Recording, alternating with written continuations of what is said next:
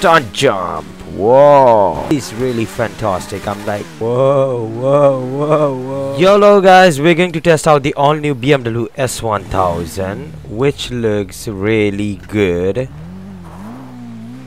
Whoa whoa whoa whoa whoa. Okay i can do a really good wheelie on this bike i believe well let's check out the ultimate customization of this bike. Okay so I don't think there's much on wheels. I don't think there were we can't even color this bike. Okay there's nothing on extras so what we have to play with is on the lights and turbo.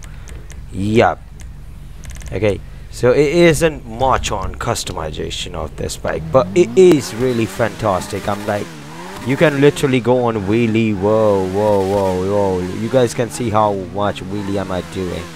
Whoa whoa whoa whoa whoa. Okay this is the front wheels i'm going to test out the stunt jump. Whoa. Okay this was a cool one